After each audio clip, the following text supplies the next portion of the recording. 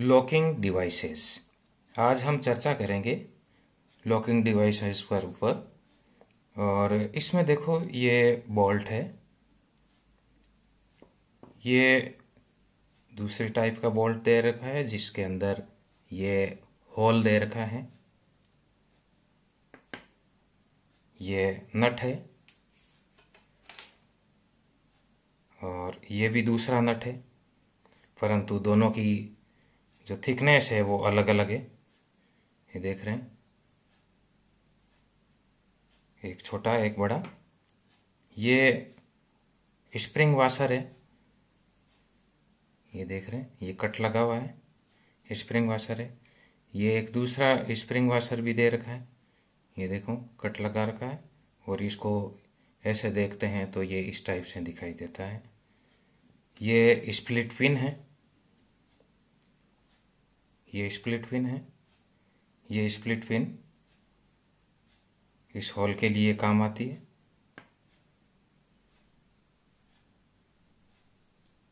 तो अब इसमें सबसे पहले हम देख रहे हैं कि ये बोल्ट है और इस पर ये नट लगा दिया। ये नट लगा दिया। अब ये इजीली घूम रहा है। अब यदि मैंने टाइट कर दिया और यदि ये हिल रहा है वाइब्रेशन है तो ये खुल जाएगा। यदि मशीन के अंदर वाइब्रेशंस है लगातार तो ये अपने आप खुल जाता है। यदि मैं एक नट और लगा दूँ, ये एक छोटा नट है, इसके ऊपर लगा दिया, ये इस टाइप से ये लगा दिया तो आप देख रहे हैं ये दोनों साथ में घूम रहे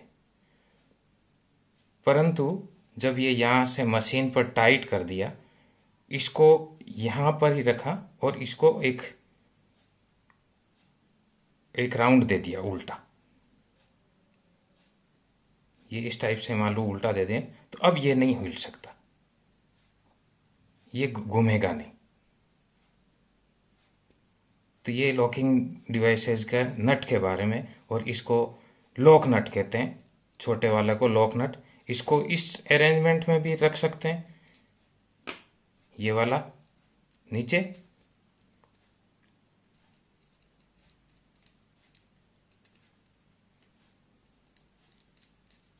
ये इस टाइप से नीचे रख सकते हैं और दूसरा एक और ऊपर लगा सकते हैं।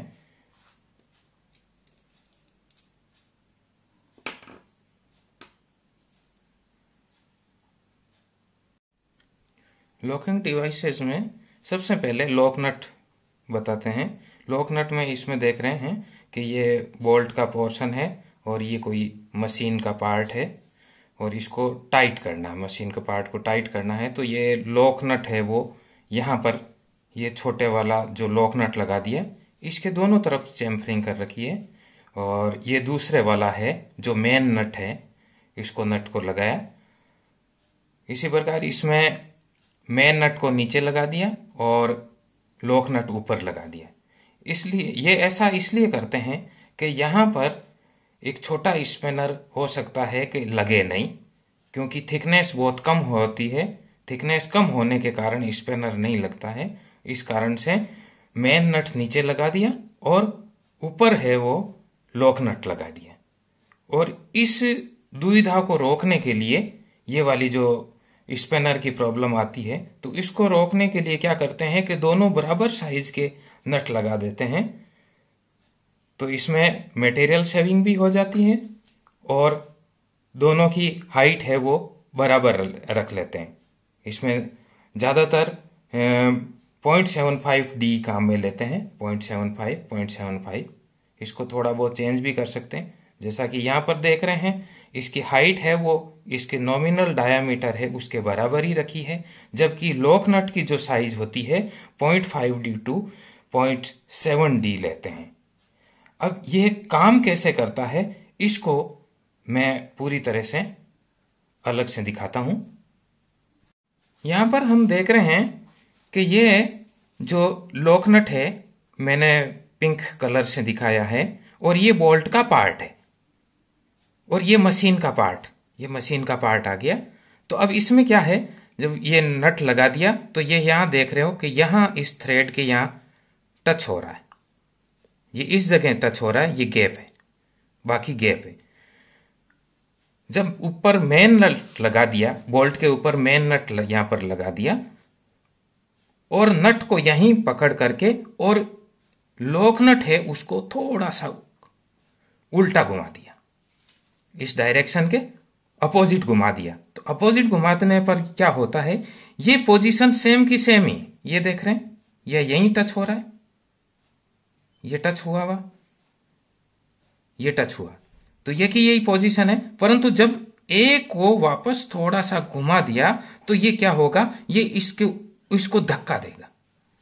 तो ये वाला पोर्शन है, इसके ये, यहाँ टच हो रहा है। अब यहाँ देख रहे हैं, पहले ही ऐसे टच हो रहा था, अब ऐसे टच हो रहा ये टच हो रहा तो ये एक तरीके से वेज शेप बन जाती है, और टोटल लोड है वो ए पर नहीं आकर के टोटल लोड बी पर आ जाता है, मेन नट के ऊपर आ जाता है। यहाँ पर ये स्प्रिंग वाशर दे रखा है। स्प्रिंग वाशर में ये, जैसा कि मैंने पहले भी बताया था, ये स्प्रिंग वाशर, ये कट दिखा रखा है ऐसा, इस टाइप से कट है। ये वाला।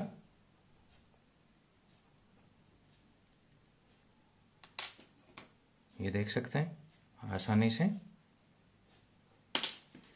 तो यहाँ पर ये वाशर है, वो फ्रिक्शन से रोकता है। जब नट को इसको टाइट कर दिया तो ये फ्रिक्शन इसके अंदर फ्रिक्शन ये दबेगा। दबेगा तो ये पोर्शन देखो, ये सीधा हो गया।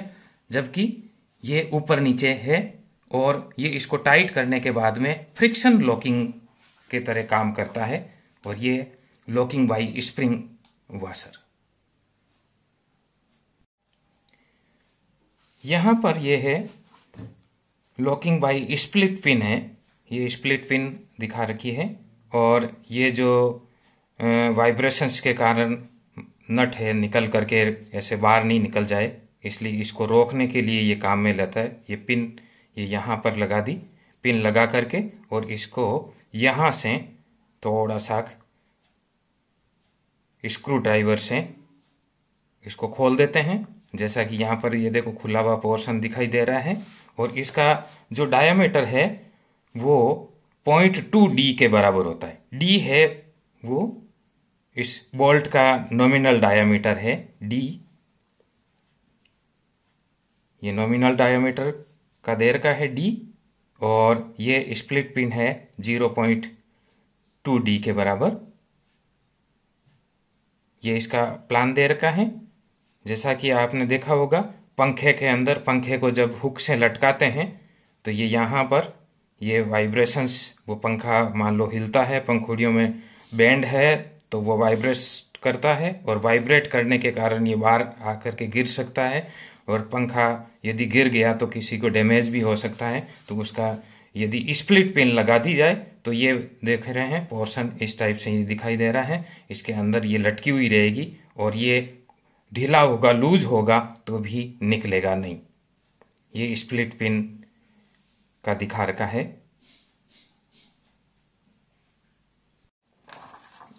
स्प्लिट पेन का ये जैसे दिखा रखा है। यदि इसको सीधा किया जाए तो ये इतनी लंबाई होगी, परंतु इसको वापस एक राउंड दे देते हैं। राउंड दे करके एक पोर्शन छोटा और एक पोर्शन बड़ा रखते हैं। जैसा कि मैंने पहले बताया, इसको यहाँ से या हथौड़े से कर सकते हो, एक पेचकस लेकर के और इसके हल्का सा हैमर से चोट लगा देंगे तो ये खुल जाएगा। और सिंपल यदि पतली स्प्लिट पिन है तो सिंपल स्क्रू ड्राइवर से भी हो जाएगा। और ये वाला जो आपके दिखा रखा है, ये यहाँ से यहाँ तक ये स्ट्रेट पोर्शन दे रखा है। स्ट्रेट पोर्शन है वो उस बोल्ट के डायमीटर के बराबर कम से कम उतना होना चाहिए। और यदि बड़ी साइज़ है तो उसकी लंबाई वो स्ट्रेट पोर्शन के बराबर ही होना चाहिए। इसका यहाँ से यदि कट सेक्शन दिखाते हैं, यहाँ से ये ए ए का तो ये देख रहे हो, दोनों को अलग अलग दिखाया, दोनों को अलग अलग डायरेक्शन दिखाया है। और इसकी जो सेफ़ है, वो सेमी सर्कल होता है। सेमी सर्कल यदि पूरे को मिला दिया था तो ये सर्कल के बराबर है, और ये इसकी जो साइज़ है वो पॉइंट टू डी डी है वो बोल्ट के डायमीटर के बराबर होती यहाँ पर लॉकिंग डिवाइसेस का ये है, ये कैसल नट जैसा कि नाम है कैसल किला आपने देखा होगा फोर्ट फोर्ट की ऊपर किले की जो दीवार होती है, उसकी जो राउंड शेप होती है, और बीच में कट लगे हुए रहते हैं। राउंड राउंड शेप होकर के और बीच बीच में स्लोट टाइप कटे हुए होते हैं। तो उसका अपन ये देख सकते हैं कि एक सिंपल मान लो ये नट है तो ये तो सिंपल नट है, परंतु इसके ऊपर ये कैसल टाइप बना दिया। तो ये वाला जैसे दूसरा मैं पोर्शन दिखा रहा हूँ, ये वाला पोर्शन इतना साग है, परंतु इससे ये यदि थोड़ा सा और बड़े, बड़ा कर दिया जाए तो ये बड़ा हो जाएगा और यहाँ पर ये कट लगा देंगे इस टाइप से। ये कट लगाया, ये यहाँ कट लगाएँगे, यहाँ कट लगाएँगे और यहाँ कट लगाएँगे। ये जो कट लगा रखा है, कट की डेप्थ है वो यहाँ दिखा रखी है 0.3 डी के बराबर है। और जो पिन है स्प्लिट पिन का, जैसा कि मैंने पूर्व में बताया 0.2 डी 0.2 डी के बराबर है। परंतु जो होल ले रहे हैं, होल का जो, ये कट जो लगा रहे हैं, होल का कह सकते हो, या ये कट लगा रहे हैं, वो 0.25 डी, ताकि पिन है वो उस आसानी से घुस जाए और कहीं टच नहीं हो, और उसके बाद में जहाँ पर ये अलग अलग एंगल पर, यहाँ पर ये दे रखा है, इसके बाद में ये, फिर ये ये ये ये। तो यहाँ हर मोमेंट के बाद में ये 60 डिग्री 60 डिग्री पर दे रखा है।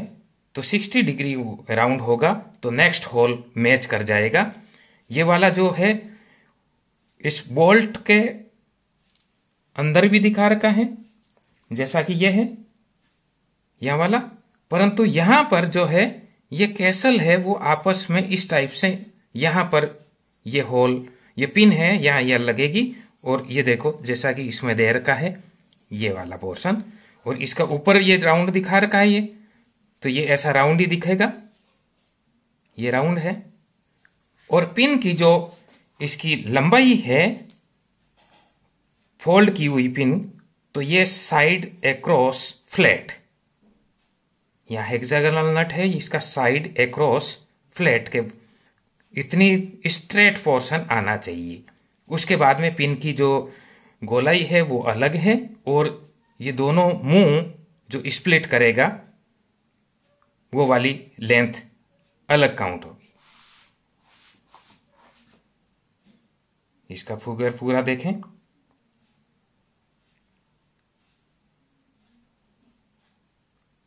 यहाँ पर ये जो राउंड दे रखा है, इसी पर ये जैसे साइड को मैंने इसको डब्लू देख लिया, आप साइज़ अक्रॉस फ्लैट तो ये सर्कल है तो ये भी एक सर्कल का डायमीटर ही है डब्लू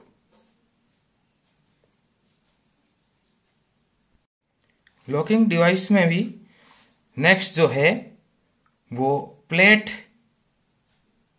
ये प्लेट दिखा रखी एक तो स्टॉप प्लेट भी कहते हैं, या लॉकिंग प्लेट कहते हैं।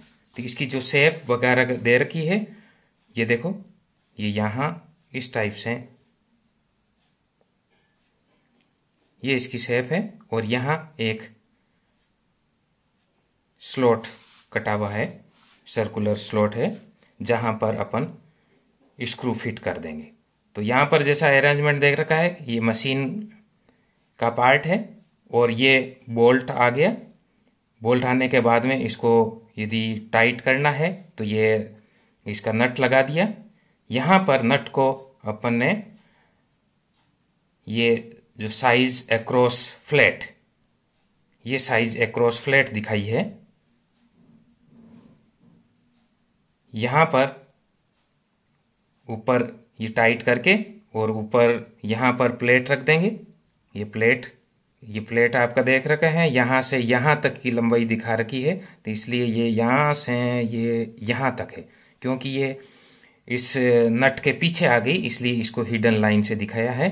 और यहाँ खाली जगह दिखाया क्योंकि यहाँ पर भी ये गैप थी है। तो अब इसको हर मोमेंट को इसमें हर 30 डिग्री पर घुमा सकते हैं। इसको थोड़ा सा और घुमाया तो ये यहाँ पर फिट हो गया।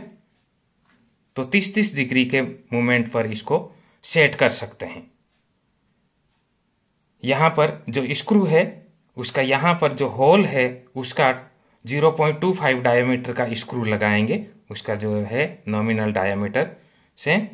और इसकी जो प्लेट की जो थिकनेस है, वो भी इस स्क्रू और प्लेट सेम साइज़ की ही होगी।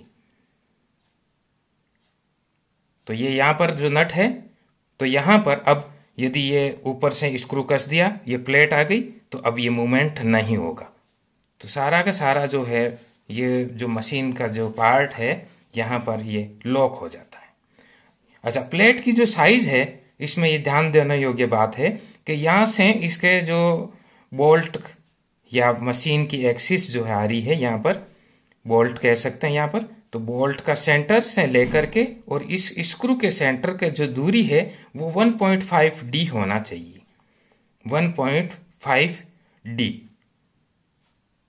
तो इसका मतलब इधर इतना है तो इतना कि इतना है, ये जो है, इसका मार्जिन भी होना चाहिए थोड़ा सा तो ये वाला जो मार्जिन है, वो टोटल मिला करके इस प्लेट की जो है चौड़ाई है, इसकी टू डी के बराबर यहाँ से यहाँ तक टू डी होगी। जबकि दूसरी साइड में, ये इस साइड में यहाँ पर 2.5 डी होगी। 2.5 डी हाफ़ कहेंगे तो 1.5 डी।